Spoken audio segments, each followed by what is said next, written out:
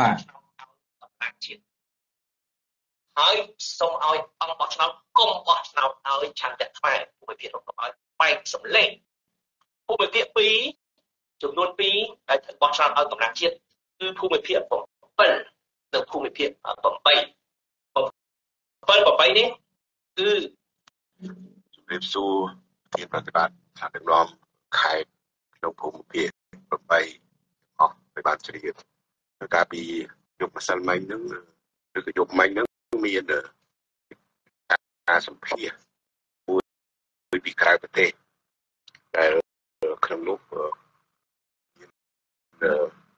បេតាមានបានថ្លែងពីដំណើរសុំ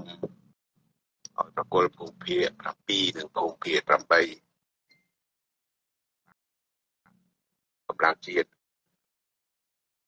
ដែលជានៃថ្លៃការមួយដែលក៏ឲ្យមានបញ្ហាខ្លះដែលខ្ញុំសូមជម្រាបថាដឹកនាំខេត្តក្នុងភូមិភាគ8ឲ្យជ្រាបពីតទៅនេះបានដំណឹង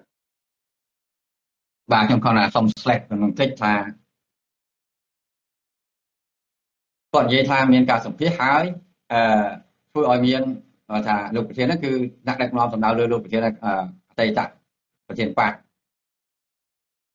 រៃថ្លែងការរបស់លោកប្រធានបកហ្នឹងគឺធ្វើឲ្យមានបញ្ហាទោះថាតើលោកប្រធានគាត់ថ្លែងនឹងធ្វើឲ្យមានបញ្ហាធ្វើឲ្យមានបញ្ហានៅក្នុងនៅក្នុងបកហ្នឹងនៅក្រុមគាត់ហ្នឹង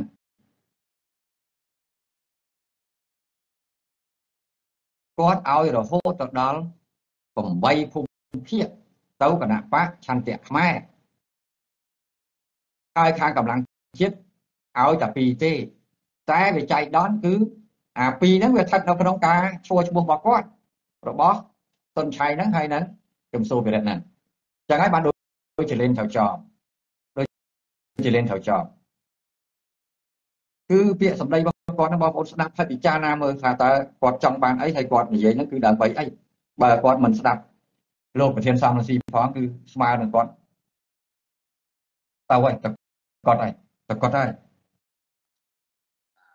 ឯកសារទាំងនេះហើយក៏បានធ្វើការស៊ើបអង្កេតពីលើមូលហេតុដែលនាំឲ្យមានការស្នើសុំបែបនេះ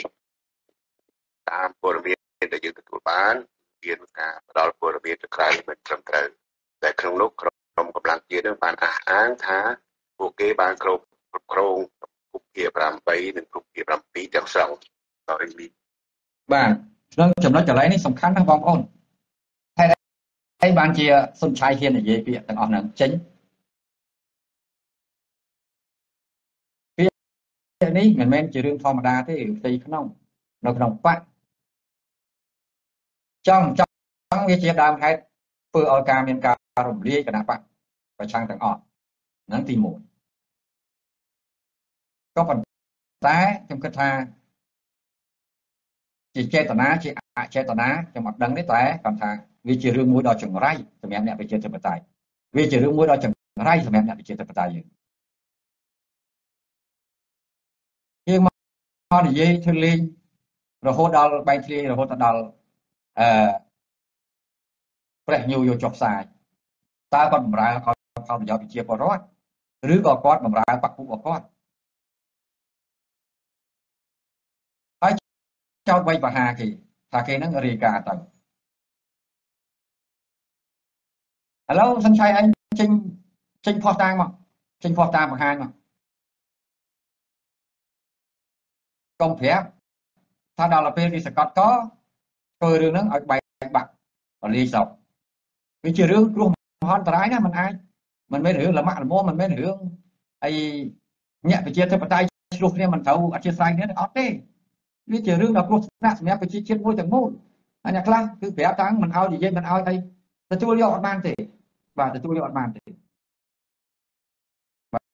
បាទយើងមើលមើលទាំងមើលអស់ហ្នឹងថាយើងទទួលយកបានទេ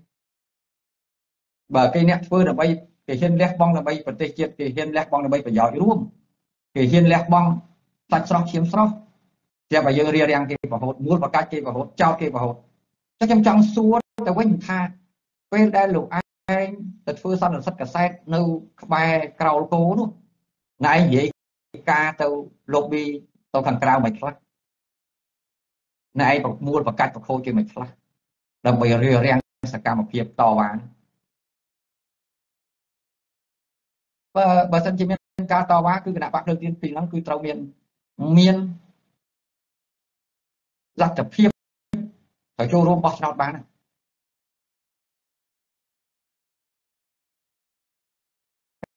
ហើយសួរថាឥឡូវនេះកំពុងតែពេលវេលាកំពុងតែមកដល់ដែលយើងត្រូវរៀបចំគ្រប់បែបយ៉ាងនេះគោឲ្យវល់ធ្វើខូចពេលវេលាទៀតរវល់ហ៊ុនសុនសុនឆៃនឹងបង្កើតបញ្ហាហ្នឹងសួរថាតើ គណៈបកថ្មីនឹងអាចរៀបចំកម្លាំងតាមតំបន់អូសមាជិកសមាជិកាឲ្យឈរនឹងបានដែរអត់ទាន់ពេលវេលានេះតែស្រួលរៀបចំអត់ទាន់ទៀតទោះបីពេលវេលានៅច្រើនក៏ដោយដោយសារតែមានបញ្ហាកោហ្នឹងហើយយើងមិនងាយទៅរកបានណាអ្នកដែលត្រូវទៅឈរបានហ្នឹងដល់តែគឺយើងរំពឹងទៅលើសកម្មជនរបស់យើងសមាជិកសមាជិកាអតីតតាំងពីសង្គ្រោះជាតិមកដល់ភ្លើងទៀនរបស់យើងហ្នឹងដែលអ្នកមាន ចក្តីភាពសម្រាប់ប្រជាជាតិយើងហ្នឹងបើយើងទុកចិត្តបានមានធនធានដែលយើងត្រូវធ្វើបានហើយបើគាត់គោពេញនឹងចឹងសួរថាទៅមុខរួចហ្នឹងហើយជាបញ្ហាដែលយើងចំណាយពេលវេលាយើងខ្សោយទៅរួបរวมគ្នាហើយមានយើងក្រុមឆ្អឹងដល់រឹងមាំមានមេដឹកនាំដល់រឹងមាំបានទៅរួចប្រឆាំងរបបផ្ដាច់ការ30 40ឆ្នាំនេះមិនតិចទេបងប្អូនមិនតិចទេចាក់គ្រឹះខ្លាំងណាស់គ្រោះថ្នាក់ខ្លាំងណាស់ហើយមានអ្នកហ៊ានធ្វើមានអ្នកហ៊ានលះបង់ហើយហេតុអីបានជាគាត់ទៅជា ជារារាំងគេចោតគេមូលបកាច់ជេអញ្ចឹងហើយគាត់អត់ស្ដាប់អត់ស្ដាប់ទៀតគាត់ខ្លាំងជាងលោកប្រធានសំស៊ីហើយគាត់ចង់ឲ្យលោកប្រធានសំស៊ីហ្នឹងកលាប់ពាក្យមិនកលាប់ពាក្យមិនកើតគឺមានការសំប្រធានអស់ហើយគាត់យកយល់អស់ហើយពី8តំបន់8ភូមិភាគគេយកតែ2ភូមិភាគទេឥឡូវអត់ព្រមទៀតហើយអត់ស្ដាប់ចឹងតែបងប្អូនគិតមិន អង្គបោះឆ្នោតលោកមានវត្តបដិសេរីទេលោកមានគិតដល់លោកប្រធានសាច់សាដែលកំពុងនៅក្នុងគុកទេហើយមិននឹកឃើញស្មារតីដើមដែលយើងបើកប៉ាក់ហ្នឹងដើម្បីអីព្រោះយើងចង់បានការផ្លាស់ប្ដូរមិនមែនចង់បានតំណែងកប៉ិកកំប៉ុងទេតែបញ្ហានៅត្រង់ថាយើងកំពុងតែជួបហានិភ័យជាមួយនឹងជីវភាពរស់នៅប្រចាំថ្ងៃអញ្ចឹងក៏គេមានការយោគយល់គេអធិស្ឋានដែរហើយក៏យើងមិនអាចទៅតាមព្រោះការលះបង់របស់យើងធំធេងណាស់ការលះបង់របស់យើងដូចមាសពេជ្រយើងមិនអាចយកទៅដោះដូរអារឿងកប៉ិកកំប៉ុងតិចតួច ហើយឲ្យអ្នកនយោបាយដែលឆ្លៀតឱកាសមកប្លន់សមិទ្ធផលគេហ្នឹងយកទៅលក់ដូរបានទេពួកនេះគឺជាពួកដែលមកប្លន់សមិទ្ធផលរបស់របស់ប្រជាពលរដ្ឋប្លន់សមិទ្ធផលជាតិយកទៅលក់យកប្រយោជន៍ផ្ទាល់ខ្លួនបាទឃើញទេបងប្អូនដោយស្ដាប់តទៀតដើម្បីឲ្យដឹងខុសត្រូវសខ្មៅអង្គឆ្នោតនឹងស្រុក ខេត្តដែលនាំឲ្យគេស្នើឲ្យផ្ដល់អាសនៈរដ្ឋសភានៅក្នុងតំបន់ភូមិភាគទាំងពីរនេះឲ្យទៅក្រុមគេក្រោយពីដឹងដំណឹងនេះយើងក៏ផ្សាយជម្រាបទៅអ្នកពាក់ព័ន្ធទាំងអស់ឲ្យជ្រាបដែរថាភូមិភាគ8ជាពិសេសភូមិភាគ8យើងនេះអង្គបោះឆ្នោតគឺស្ថិតនៅក្នុងការគ្រប់គ្រងទាំងស្រុងដោយថ្នាក់ដឹកនាំគណៈបកព្រឹទានទេ ហើយគណៈបកកម្លាំងជាតិគ្មានឥទ្ធិពលអាចនឹងមកយកអាសនៈប្រសិទ្ធភាពនៅក្នុងភូមិភាគនេះបានឡើយជាពិសេស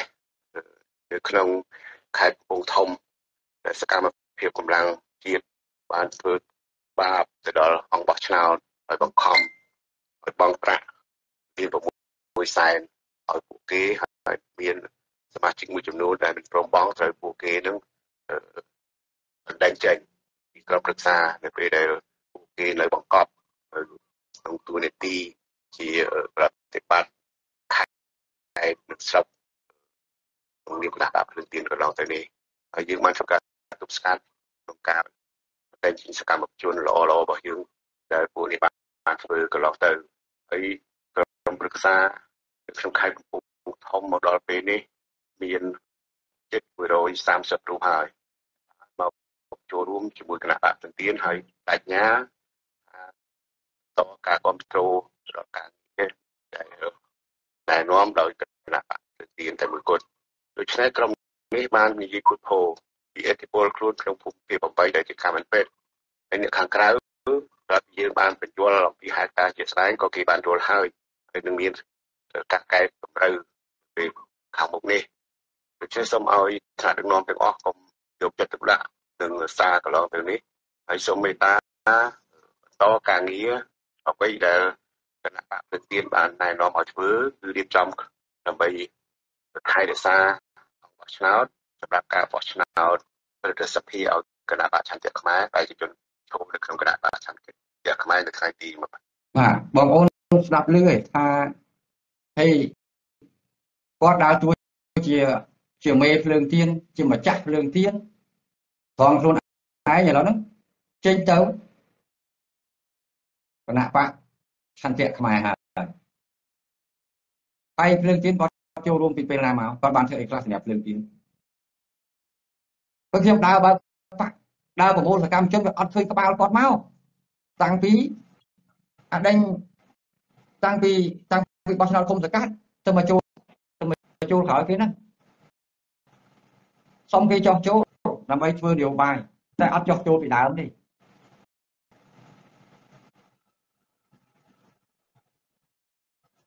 ឡូវមកអានជីមកអីណាតាំងខ្លួនឯងនៅប្លុកកដាលសោះអាកទេលធំបឡំដេកស្លាប់សោះតែបើចេញទៅផុតហើយក៏អត់មានលទ្ធភាពដែលត្រូវមកគ្រប់គ្រងក្នុងបាក់ហ្នឹងដែរអូមនុស្សគាត់ចង្រៃណាជាមួយរសជាតិ តាមមមសំណងដូរពីមុនមកគឺគាត់ប្របែកប្របាក់គាត់ថាអត់ធ្វើការមួយមមសំណងដូរទេហើយមមសំណងដូរមនុស្សតម៉ាត់ត្មយខឹងគេមាននឹងវត្ថុទៀតមាត់ចង្រៃណាចង្រៃប្របែកប្របាក់ខ្មែរហ្មងយើងក៏អត់មានទូទូផ្សារវត្ថុផ្សាយទៀតហើយមមសំណងដូរមានអាវត្ថុមមសំណងដូរជួយផ្សាយមិនតិចណាសម្រាប់អ្នករដ្ឋវិទ្យាតែមុនមកគេស្គាល់គេជឿជាក់គេគេបានស្គាល់ច្រើនឲ្យស្រាវត្ថុមមសំណងដូរដែរយើងនិយាយការពិតយើងមិនមែនចេះតែនិយាយប៉ះណាប៉ះអីតែ ខ្ញុំសុទ្ធឆៃនឹងចង្រៃមុនគេប្រាប់ថាมันអាចធ្វើការមួយមកស្ដាំដូរនឹងកើតទេអាហ្នឹងមួយទៅដល់តែចូលមកចូលមកនៅក្នុងគណៈបកព្រមទៀតនេះគោទៅមកអត់ត្រូវទេជាមួយលោកថាច់ថាទេធ្វើអីភ្លាវភ្លាវរហូតភ្លាវតែឯងបកទីបកពូហ្នឹងគេគេធ្វើពិតប្រកបឥឡូវយើងឃើញហើយបងប្អូនខ្ញុំនិយាយនេះមិនមែន ថាលុតទួងវស្អីដែលអឺខ្ញុំចង់បានស្អីទេខ្ញុំគាត់តែចង់បង្ហាញឲ្យយល់ខុសហើយនឹងត្រូវបងប្អូនចេះពិចារណាខ្លួនឯងណាអ្វីដែលសំខាន់អ្វីដែលសំខាន់តែបងប្អូនគិតពីប្រយោជន៍ប្រទេសជាតិឃើញគ្រោះថ្នាក់ប្រទេសជាតិឬក៏បងប្អូនស្រឡាញ់តំណែងតិចតួចហ្នឹងទៅតាមការចង់បានរបស់សុនឆៃរបស់ក្រុមមនុស្សដែលដែលមានគំនិតទុច្ចរិតសម្រាប់ប្រជាជាតិដើម្បីតែប្រយោជន៍ផ្ទាល់ខ្លួនតែបងប្អូនទៅចាំថា ទេវតាមានភ្នែកទេវតាមានភ្នែកបាទឥឡូវគេកំពុងតែរែងរែងអ្នកល្អរែងអ្នកអាក្រក់អត់ឃើញដូចទឹកថ្លាបើពេលខ្ញុំមើលទៅគឺខ្ញុំមើលឃើញច្បាស់បងអ្នកផ្សេងខ្ញុំអត់ដឹងទេជ័យជំនះក៏ខ្ញុំមើលឃើញច្បាស់ថាវានឹងកើតឡើងហើយសកម្មភាពនានាឲ្យតែអ្នកចេញប្រតិកម្មមកគឺខ្ញុំមើលឃើញដឹងអ្នកណាដែលស្រឡាញ់ជាតិអ្នកណាដែលគិតពីប្រយោជន៍ផ្ទាល់ខ្លួនអ្នកណាគិតពីប្រយោជន៍ប្រទេសជាតិអ្នកណាក៏ទេ ធំប្រឡំដេកដេកណៃចាំទុច្ចរិតណៃតាណាក៏យើងមើលឃើញអត់មានអ្នកនយោបាយមកបោកយើងបានទេទេអញ្ចឹងខ្ញុំឈួរខ្ញុំឈួរក្នុងនាមប្រយោជន៍ប្រជាជាតិប្រយោជន៍រួមប្រយោជន៍ប្រជាពលរដ្ឋខ្ញុំមានផ្កាប់មុខជាមួយនឹងបុគ្គលណាទេបាទអត់ទេពួកខ្ញុំឃើញការឈឺចាប់ឃើញការលះបង់របស់បងប្អូនខ្ញុំអត់ចង់ឲ្យខូចប្រយោជន៍ធំខ្ញុំខំតស៊ូច្រើនណាស់លះបង់ច្រើនណាស់យូរយូរ សិទ្ធអ្នកខ្លះតាំងពីមែនទែនទៅតាំងពីគណៈបច្ចេកខ្មែរមកម្លេះអត់មានយកមកចេះចោលពេលហ្នឹងទេបងប្អូនអត់យកមកចេះចោលនៅពេលហ្នឹងទេហើយបើទៅតាមមនុស្សអាក្រក់ទៅតាមមនុស្សស្អុយគឺខូចការអស់ហើយបាទឲ្យច្បាស់គ្នាកន្លែងហ្នឹងទេវតាមានភ្នែកណាបងប្អូនបាទច្បាស់ណាស់កុំឲ្យខុសបច្ចេកទេសឡានគេចេញចោលខូចចិត្តហើយទៅចូលរួមមួយគេអត់ទេ នៅឲ្យស្ងៀមរក្សាចំហឲ្យរឹងទៅដឹងថានរណា គឺជានរណា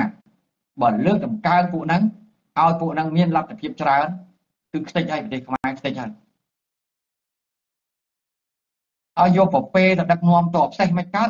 សឹកពួកកបាក់កពុកសុំស្អីនៅតែសុំយកបល់ពីសម្ដេចនាយកសម្ដេចនាជោសុំជួបជួបខ្មៅយកតែតាំងខ្លួនឯងខ្លាំងជាងសម្ដេចជានោះ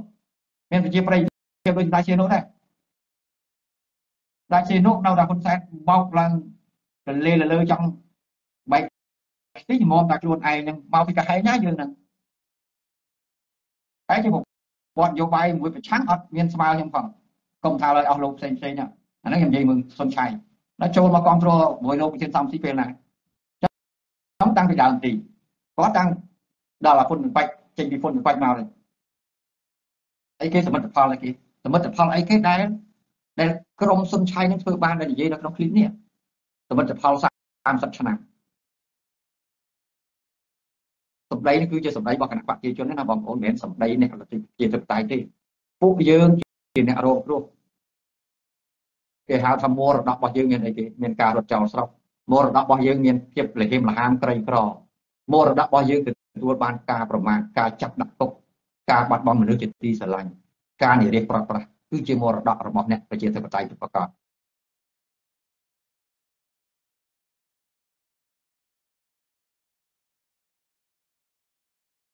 តើ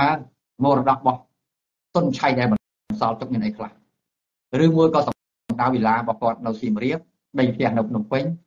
លុយវ៉ាលានដុល្លារតាមរយៈចំនួនដែលគេឃើញគាត់មានទួនាទីធំហ្នឹង ប្រាក់ខែពីតំណាងរាស្ត្រពីព្រឹទ្ធសភាហ្នឹងផលប្រយោជន៍នយោបាយដែលគាត់ទទួលបានកន្លងមកដោយសារតែពួកខាងក្រៅស្រុកក្នុងស្រុកជួយផ្គត់ផ្គង់ជួយយកចិត្តគាត់ឬយ៉ាងស្ទោះទាំងស្ទោះហ្នឹងហើយបានផលប្រយោជន៍ប្រមាណពីហ៊ុនសែនកន្លងមកថ្មីថ្មីនេះដែលគាត់សម្ដៅទៅលើមរតកហ្នឹងអត់មានមរតកអីទេសម្រាប់អ្នកលទ្ធិប្រជាធិបតេយ្យមានតែការឈឺចាប់អត់មានមរតកទេមរតកអ្នកលទ្ធិប្រជាធិបតេយ្យមានតែការ វេទនាលហេមលហាម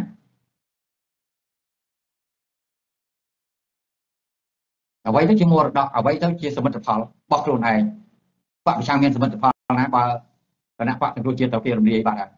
ថាគណៈបកសង្គ្រោះជាតិវាសំជាជាមរតកសម្រាប់អ្នកលទ្ធិប្រជាធិបតេយ្យរួបរวมគ្នាធ្វើឲ្យមានការផ្លាស់ប្ដូរធ្វើឲ្យប្រវត្តិសាស្ត្រនឹងវាប្រែប្រួលតែឥឡូវបើគេរំលាយបានហើយយើងអត់តវ៉ាយើងខុសម្ដងហើយ តើជាមរតកស្អីគេជាសមិទ្ធផលស្អីគេឬមួយក៏សមិទ្ធផលរបស់គណៈបព្វជិជនដែលលោកឯងត្រូវការពីហ្នឹងជាបញ្ហាបងប្អូនស្ដាប់ឃ្លីបហ្នឹងឲ្យបានឲ្យបានចូលព្រោះវាបែកធ្លាយវាផ្ទុះពេញ Facebook ហើយហើយ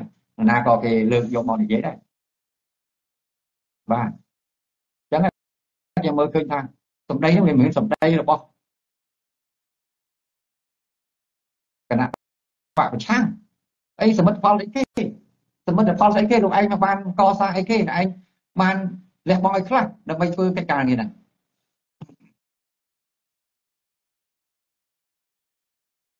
តែភ្លៀងតែភ្លុំ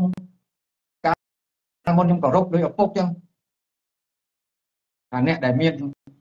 វោហារសាស្ត្រចេះនិយាយចុងក្រោយមានទេប្រាក់កាផែលើក្តិតលោកនេនចាស់ពីដើមថាចឹងគោលសម្ពោធឲ្យដូចជឿពុកកិច្ចមានមិនរួចរឿងអាផលប្រយោជន៍ផ្ទាល់ខ្លួនយកយកប្រទេសជាតិមួយទាំងមូលទៅធ្វើជាចំណាប់បានបងប្អូនមើលមើលរបបផ្ដាច់ការបងប្អូនបងបងប្អូនទៅធ្វើមិនឈ្នះវាវាមានតែយកកិច្ចព្រមព្រៀងសន្តិភាពទីក្រុងប៉ារីសមកអនុវត្តតើយកមកអនុវត្តមិនបានវាត្រូវតែមានការក្រោកឡើងមានការតវ៉ាមានការទៀមទាអញ្ចឹង ខ្ញុំមើលឃើញចំណុចឈ្នះឥឡូវមើលនគររងធំគាត់មានអ្នកគ្រប់គ្រងច្រើនតាំងពីមនុស្សនៅក្នុងគណៈបកហ្នឹងក្នុងក្រុមឆ្អឹងគណៈបកទាំងអស់មានអាទៀតសមាគមគ្រូបរិញ្ញាសមាគមកម្មករឯករាជ្យយុវជនទាំងអស់គេគ្រប់គ្រងគាត់ទាំងអស់ចឹងកាលណាកម្លាំងរឹងបើវាប៉ះវាទៅផ្ទុះនេះគឺយើង តវ៉ាអត់មាននិយាយរឿងអីផ្សេងក្រៅពីយកកិច្ចព្រមព្រៀងសន្តិភាពទីក្រុងប៉ារីសហ្នឹងមកអនុវត្តទេបានវាមានដំណោះស្រាយពេលដែលវាប៉ះហើយសង្ឃឹមទៅចូលរួមបោះឆ្នោតស្អីគេគឺមកអត់មានទេស្រុកខ្មែរតែមានអាការបោះឆ្នោតបន្តបន្តដោយរាល់ថ្ងៃទៀតអត់មានការបោះឆ្នោតដោយសេរីយុត្តិធម៌ធ្វើឲ្យបានឃើញមុនបោះឆ្នោតអាស្អីគេគណៈកម្មការរៀបចំបោះឆ្នោតស្អីអី អាប្រាច័ន្ទស្អីគេហ្នឹងវារំលាយវាដកសិទ្ធដងសិទ្ធ300នាក់ជាងអាយើងខំប្រមូលចងល់សង្ឃឹមតកើតទេអត់ទេតែវាអស់លក្ខនៅត្រង់ថានៅពេលដែលវាប៉ះរបស់ពិតបើប៉ះមន់សម្លដូចសុនឆៃហ្នឹងធ្វើ100ឆ្នាំទៀតក៏អត់ទៅមុខដែរអាលាទាំងស្រុកមកអាលាទាំងស្រុកមកតែគាត់សុខសប្បាយគាត់សប្បាយគាត់មានលុយចាយគាត់មានធនធាន គាត់ប្រមូលកម្លាំងបានទៅទៅគ្រប់គ្រងទៅគ្រប់គ្រងគេចឹងបានថាវាគ្រោះថ្នាក់ណាស់បងប្អូនអត់អាចទទួលយកបានទេឥឡូវមិនស្ដាប់ដល់លោកប្រធានចឹងមិនចង់រំលឹកសារបាននឹងទេម្ដងហើយម្ដងទៀតនៅក្នុងគណៈបកភ្លើងទៀតនឹងគឺចេញសេចក្តីថ្លែងការណ៍ថោកទៀតពីមុនមកអីគេគេបខំឲ្យកោតទោសលោកប្រធានសំស៊ីថាជាតនដិតជាអ្នកដែលក្បត់ជាតិ3ចំនួនមានសកម្មជនយើងខ្លះខ្លាច ទៅគ្រប់គ្រងគេទៅចោះញ៉ាត់មួយគេអាហ្នឹងវាមកសាទៅលើកទី2នេះសេចក្តីថ្លែងការណ៍ម្ដងហើយម្ដងទៀតគឺបើពាក្យសិតតនដិតនៅក្រៅស្រុកអីណាពាក្យហ្នឹងយើងទទួលយកបានយើងអត់អាចទទួលយកបានទេបើបើបកប្រឆាំងមិនហ៊ានតវ៉ាមិនហ៊ានការពារយុត្តិធម៌មិនបាច់ទៅធ្វើទេមិនបាច់ធ្វើទេកុំឡើងទៅឲ្យគេគោរពថាឯកឧត្តមថោកទាបណាឯងគេឈ្មោះណាឯងមិនសមនឹងការទទួលការគោរពបូជាពីពីប្រជាពលរដ្ឋទូទៅទេបាទ អត់តល់តែសោះព្រោះជាបុគ្គលថោកទាបជាបុគ្គលដែលស្រឡាញ់ប្រយោជន៍ផ្ទាល់ខ្លួនមិនមែនជាបុគ្គលសាធារណៈដែលស្រឡាញ់ជាតិជាធំមិនហ៊ានលះបង់ទោះតែឯងសមទទួលអត់តល់តែសោះគឺជាបុគ្គលដ៏ថោកទាបបំផុតជាសុភាពបរិះខ្លែងខ្លាចខ្លួនអត់បានធ្វើអីផងខ្លួនអត់ហ៊ានលះបង់ផងហើយឲ្យគេហៅឯកឧត្តមបានគេឲ្យងារឯកឧត្តមហើយចង់បានតំណែងឯកឧត្តមនឹងហើយស្រាប់ញញឹមបិទមាត់បញ្ចិត្តដល់មានបញ្ហាវត្តចូលសមោតភូមិអស់ អាទៅអាមេរិកទៅទៅអាមេរិកផ្សេងផ្សេងទៅឈឺពី3នាក់អញ្ចឹងទៅអាកាន់ក្បាលមេក្រូស្រែកប្រកាសទៅនិយាយបំរើសត្រូវទៅវ័យបហាគ្នាឯងទៅខុសទៀតអត់អាចទទួលយកបានមនុស្សចឹងចឹងមិនអាចដឹកនាំឲ្យប្រទេសជាតិបានសុខបានសុបាយបានទេអត់តតែសោះអត់ឲ្យប្រជាពលរដ្ឋយើងបានសុខទេបើឲ្យឡើងធ្វើនាយករដ្ឋមន្ត្រីក៏មនុស្សនឹងអត់កំណើតដែរពួកវាឃើញបើប៉ុណ្ណឹងស្រឡាញ់អាប្រយោជន៍ផ្ទាល់ខ្លួនប៉ុណ្ណឹងអត់មានលះបង់ បានមកជំរាបបាទជើងលោកទៀនសំស៊ីគណៈបកសង្គ្រោះជាតិមួយទាំងមូលផ្ទះរបស់លោកទៀនសំស៊ីលោកប្រធានអត់និយាយអីមួយម៉ាត់ផងពេលដែលអាចចង្រៃក្បត់ជាតិនឹងវារំលាយចោលឯងមិនទាន់ដឹងស្អីផងប្រែកដូចជ្រូកទៅទៅក្តៅតំពួកលោកសំសំជាមេដឹកនាំដែលគួរណាស់ទទួលគេគេប្រើពាក្យអីឯកឧត្តមអីចឹងតែតែមនុស្សគួរឆ្កែទេ បើគួរមនុស្សគេអត់ធ្វើចឹងទេគេអត់ធ្វើចឹងទេគេគិតប្រយោជន៍ជាតិជាធំគេនៅស្ងៀមយ៉ាងហោចណាស់ក៏គេនៅស្ងៀមដែរគេមានអបអរសាទរគេជួយលះបង់អ្នកដែលហ៊ានធ្វើទៀតនឹងបានជាមនុស្សដែលមានខួរជាមនុស្សបើខ្ញុំមានលទ្ធភាពដោយលោកឯងចំចំណាយលុយមករាប់ពាន់រាប់ម៉ឺនជួយគណៈបកកម្លាំងជាតិឲ្យគេធ្វើខ្ញុំនៅតែស្ងៀមទេ ដើម្បីឲ្យជោគជ័យមានការផ្លាស់ប្ដូរមិនចរិតអីថោកទៀតអញ្ចេះចេះទេហើយគិតមកស្រឡាញ់ជាតិមិនបោកបានតែសម័យវល់ស្នឹងទេវល់ស្នឹងទេសម័យ79បោកគេបានពួកអ្នកនយោបាយបោកគេបានពីដើមមកសម័យនេះអត់ទេនៅមានខ្ញុំមួយទៀតដែលជាកូនខ្មែរដែលហ៊ានប្រឈមនឹងបញ្ហាផ្សេងផ្សេងហើយមានអ្នកអាជីពរាប់សែនរាប់លានអ្នកក៏គេគេមើលឃើញគេដឹងខុសដឹងត្រូវដែរបាទ យុទ្ធធរគឺយុទ្ធធរអត់មានលេងសើចកលឹមកលំអីប្រទេសជាតិមួយទាំងមូលមិនមែនលោកឯងយកមកក្រុមប្រមាណនេះមកលេងសើចហើយលោកឯងក៏ត្រូវតែទទួលខុសត្រូវចំពោះប្រវត្តិសាស្ត្រថ្ងៃមុខបាទនិយាយនេះឲ្យច្បាស់ហើយបើអ្នកត្រូវដកខ្លួនចេញណាត្រូវត្រូវដកខ្លួនចេញគឺដកឲ្យហើយទៅកុំឲ្យមានបញ្ហាទាន់ស្រុកខ្មែរនេះខ្ញុំចង់ផ្ដាំថាស្រុកខ្មែរនេះគឺជាប្រទេសអច្ឆរិយៈដែលគ្មាននរណាអាចអ្នកប្រាជ្ញណាគេអាចមកវិភាគស្ថានភាពនយោបាយរបស់ខ្មែរបានទេ អត់វិភាគអត់ត្រូវទេចរន្តគឺផ្លាស់ប្ដូរលឿនដូច180ដឺក្រេសេបាទចឹងបើមានការផ្លាស់ប្ដូរក្របខ័ណ្ឌណាមួយទោះបីជាគណៈបកប្រជាជនគេត្រូវធ្វើរដ្ឋប្រហារតម្លាក់ហ៊ុនសែនឬក៏មានចលនាអីផ្សេងដែលគេត្រូវផ្ដួលរំលំរបបនេះបានពួកលោកឯងនឹងហើយប្រមាណអ្នកនឹងហើយដែលត្រូវទទួលមុខចំពោះប្រវត្តិសាស្ត្រដែលរួមកំណត់ក្បត់ជាតិជាមួយនឹងតកូលហ៊ុនឲ្យច្បាស់គ្នាកន្លែងហ្នឹងមិនចោតប្រកាន់នេះមិនចោតប្រកាន់តែការពិតប្រ ជាពលរដ្ឋនឹងនឹងកាត់ទោសអស់លោកកុំគិតថាលេងសើចរឿងនេះលេងសើចគេមិនដឹងកុំគិតថារឿងនេះលេងសើចគេអត់ដឹងកុំឲ្យសោះកុំលេងសើចជាមួយនឹងការក្បត់ជាតិកុំលេងសើចជាមួយនឹងឈាមរបស់កម្មករយុវជនសកម្មជនដែលលះបង់ជីវិតកន្លងមកកុំលេងសើចរឿងនេះរឿងធំទុនសែនអត់ធ្វើឲ្យយើងឈឺចាប់ទេតែលោកឯងធ្វើឲ្យយើងដេកអត់លក់ដូចគេចាក់ត្រូវពីដែលឆាបខ្ញុំគាត់ណាសុំផ្ដាំមកប៉ុណ្ណឹង ហើយអ្នកដែលច្បាស់លាស់អ្នកដែលដើរតាមអ្នកដែលចង់បានមុខបានមាត់ហ្នឹងហើយបើតូចតាចមិនអីទេតែបើថ្នាក់ចំកម្រិតថ្នាក់ដឹកនាំថ្នាក់ប្រធានអនុប្រធានបាក់អស់ហើយទៅទៀងខ្លួនឲ្យទៅស្អីក៏អាចកើតឡើងដែរខ្ញុំគាត់ប្រាប់ខ្សាច់មួយគ្រាប់អាចធ្វើឲ្យ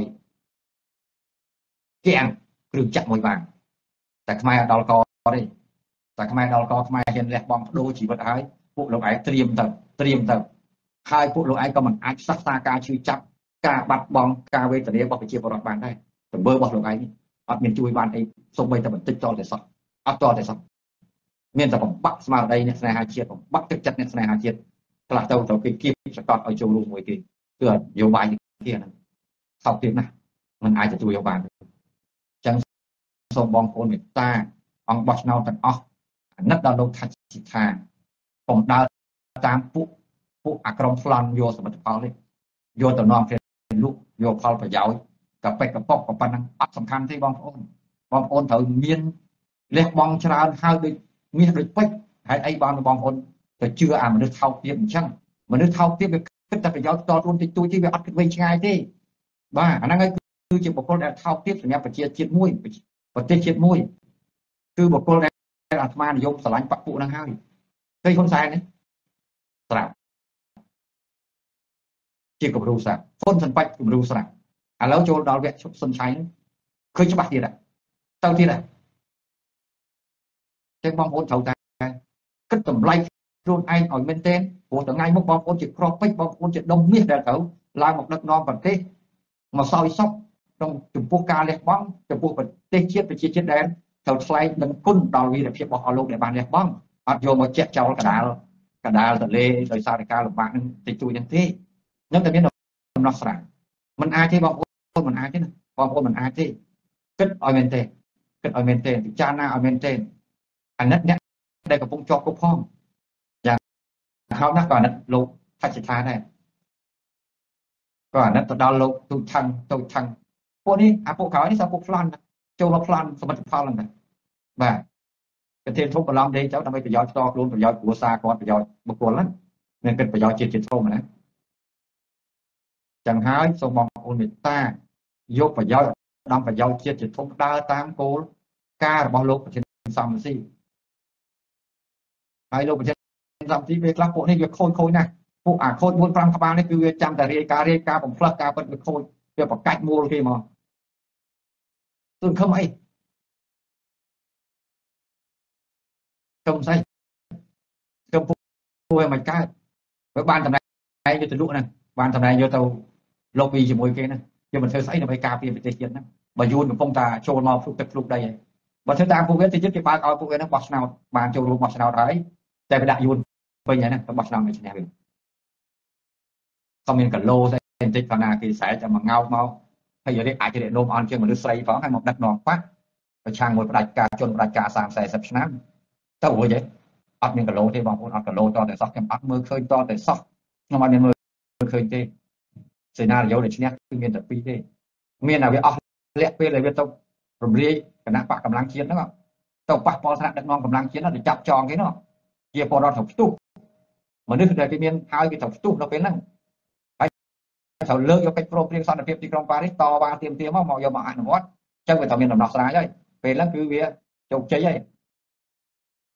ហើយទី2គឺមានតែលោកប្រធានសំស៊ីគឺលោកធ្វើមានភូមិនិវត្តមកតែយើងមើលឃើញថានយោបាយថៃវានៅវែងឆ្ងាយដោយសារពួកខាងកាន់អំណាចថៃអល់ថ្ងៃនេះវាស្និទ្ធជាមួយនឹងតកូលហ៊ុនហ្នឹងកូនក្បត់ជាតិហ្នឹងទាំងហើយវាពិបាកយើងមើលឃើញច្រកមានមួយហ្នឹងហើយនឹងការធ្វើបាតកម្មក្រៅស្រុកដើម្បីឲ្យគោរពកិច្ចព្រមព្រៀងសន្តិភាពទីក្រុងប៉ារីសហ្នឹងយើងនាំគ្នារបស់ក្បាលអេសតកតរបស់កអេសខ្នងឃើញទេ មានអីមរតករបស់យើងសមិទ្ធផលរបស់សុនឆៃនិយាយមានអីពួកយើងសលភាពជឿចាប់នារីប្រាត់ប្រាស់ហើយមកអួតសមិទ្ធផលអីគេសមិទ្ធផលស្អីគេ30 40ឆ្នាំហ្នឹងគាត់ចូលរួមមកពីមួយគណៈបកនឹងថ្ងៃណាខែណាបើពីមុនមកគាត់នៅគណៈបកតាសិនសានហ្នឹងគាត់បើគាត់បើគណៈបកតាសិនសានមួយដែរអូគេគោរពអូគេស្រឡាញ់គាត់មើលបើគាត់មានវិជាប្រយោជន៍ចឹងចឹងវាអត់ ធ្វើវាមិនកើតតែគេប្រកាសតែមុនមិនបានចូលតែគេមុនមកតំសិទ្ធមួយហ៊ុនសែនធ្វើនយោបាយហើយបើបើបាក់ព្រឹងទៀនពុកអត់ឃើញលើកអត់ក្បាលមក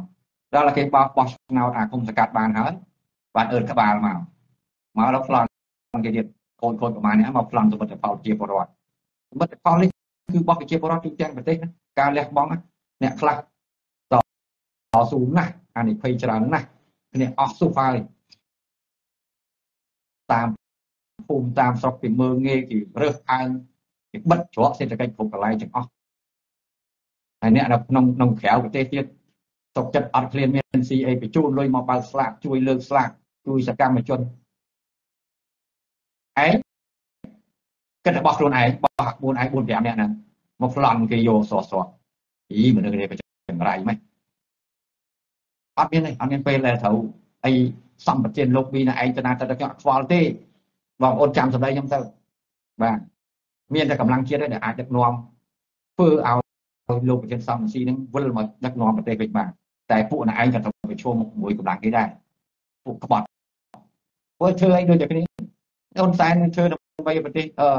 គ្រួសារគាត់ជាមួយនឹងបពពួកគាត់អំណាចរបស់គាត់ហើយយើងធ្វើដើម្បីខ្លួនឯងចឹងដែរក្រុមលោកឯងធ្វើចឹងដែរណាធ្វើដើម្បីបពពួកលោកឯងអំណាចលោកឯងដល់ប្រយោជន៍គ្រួសារលោកឯងណាមិនគិត ប្រទេសជាតិពីការតើឥឡូវមានតែគម្រាមអីណាគេទៀតគម្រាមអង្គបោះឆ្នោតឯណាទៀតអ្នកណាមកដើរតាមខ្លួនឯងសិតតែបដិញគេចេញលោកប្រធានប្រាប់ហើយទៀតថាកុំឲ្យដេញគេចេញពួកនេះឆោតជាតិបដិញគេចេញទៀតហើយជឿនទៅធ្វើខុសច្បាប់ព្រមមិនតាន់ទៀតអត់មានអ្នកឯងមានសិទ្ធមកដកទេដកគេទេក្រុមប្រឹក្សាទាំងអស់ហ្នឹងគឺជាបរិបទរបស់ឆ្នោតឲ្យបាទហើយក៏អត់ត្រូវមានមោទនភាពដែរតែបំរើគិតពីប្រយោជន៍ប្រទេសជាតិគិតប្រយោជន៍ប្រជាពលរដ្ឋ ជាពលរដ្ឋលោកចង់បានអីមិនបានអំណាចទៅជួយស្រាប់ឲ្យយកទៅបង្វិលធ្វើខុសបច្ចេកទេសហ្នឹងខុសហើយអត់បានទេបាទអញ្ចឹងតែយើងដើរខុសពីជំនាញនយោបាយគឺគ្រោះថ្នាក់អស់អាលារត់អស់ទាំងកិត្តិយសយើងគិតអត់ដល់យើងទៅទៅចូលរួមជាមួយពួកអាក្បាលខូចអាហ្នឹងវាស្មើនឹងយើងចូលរួមក្បត់ជាតិខ្លួនឯងដែរពួកវាពួកវាក្បត់ជាតិដែរពួកវាបំរើចឹងហើយណាយើងខំធ្វើល្អសោះលះបង់ពីណាពីណីមកគិតខុសណាបងប្អូនគឺខុស ខុសខុសចែកទេហ្នឹងបានទេរឿងធំហើយហើយស្រុកខ្មែរនេះវាមានការផ្លាស់ប្ដូរលឿនណាស់អត់នៅយូរទេបាទអត់នៅយូរទេមានណាអមតៈទេហ៊ុនសែនរាល់ថ្ងៃហ្នឹងកតិកតិកតិកតិអីហ្នឹងហល់ហល់ហល់ហល់ហក់ហក់អីហ្នឹងហ្នឹងយើងនិយាយគាត់ថាកតាធម្មជាតិផងតែកតាដែលវិជាពលរដ្ឋជួយចាប់ទេតែលើតុបមេត្រូវាមិនរួចព្រោះអត់ដោះស្រាយបញ្ហាសេដ្ឋកិច្ចឲ្យជាពលរដ្ឋដែលកំពុងមានវិបត្តិ គិតតែប្លន់គេណាវាមិនដែលដាំដើមស្លែងបានផ្លែស្វាយមកហូបបានផ្លែប៉ោមមកហូបទេបងប្អូនតែដុតភ្លើងភ្លើងវាឆេះវាក្តៅហើយដាក់តកតកវាតិចឲ្យដាំផ្លែស្លែងស៊ីគ្រាប់ស្លែងខ្លួនឯងវិញហើយហើយយើងធ្វើទៅធ្វើរបស់យើងក៏យើងអត់ភ្លេចខ្លួនទេកាលយើងលោភលន់យើងគិតតែប្រយោជន៍គ្រួសារយើងគិតប្រយោជន៍បាក់ពួកខ្លួនឯងហ្នឹងមិនពីណាប្រាប់ទេ មិនពីណាទេមកនេះទេអាទង្វើរបស់យើងវាសាយភាយអំពើអាក្រក់ដែលយើងសាងគឺវាភាយចេញទៅឯងព្រោះវាប៉ះពាល់ស្អីក៏ដោយមានហេតុគឺមានផលហើយយើងរៀនរូបជាយើងដឹងរបស់មួយបាត់វាត្រូវទៅកើតជារបស់មួយទៀតរៀនគីមីយើងដឹងវាបំលែងជាតិវាត្រូវទៅយើងច្បាស់ច្បាស់អត់បាច់ទៅកុហកអ្នកដតីកុំលាក់បាំងស្អីដែលយើងធ្វើនឹងគឺអត់អត់អាចលាក់បាំងបានទេគ្រប់រឿងទាំងអស់ បើយើងធ្វើល្អហើយនៅក្នុងខ្លួនយើងល្អហើយវាសាយភាយទៅរឿងល្អហើយវាចេញជារឿងល្អហើយសម្រាប់ប្រទេសជាតិសម្រាប់សង្គមជាតិធ្វើទៅប្រយោជន៍រួមអញ្ចឹងសង្គមនោះគឺគេនឹងផ្ដល់តម្លៃឲ្យអ្នកឯងវិញគេគោរពគេលើកតម្កើងអ្នកឯងហើយតែបើអ្នកឯងធ្វើដើម្បីប្រយោជន៍ខ្លួនឯងប្រយោជន៍បុគ្គលទេនេះស្ថានភាពរាល់ថ្ងៃហ្នឹងគឺគ្រោះថ្នាក់ណាស់គ្រោះថ្នាក់ណាស់ចឹងបាទដោយសារតែពេលវេលាវាដល់ម៉ោងកំណត់កុំឲ្យយូរពេកចឹងក៏សូមអធិស្ឋានកាន់តែពេកទៅហើយក៏សូមជម្រាបលាតែប៉ុណ្ណេះ សូមអរគុណសូមជម្រាបលាបាទ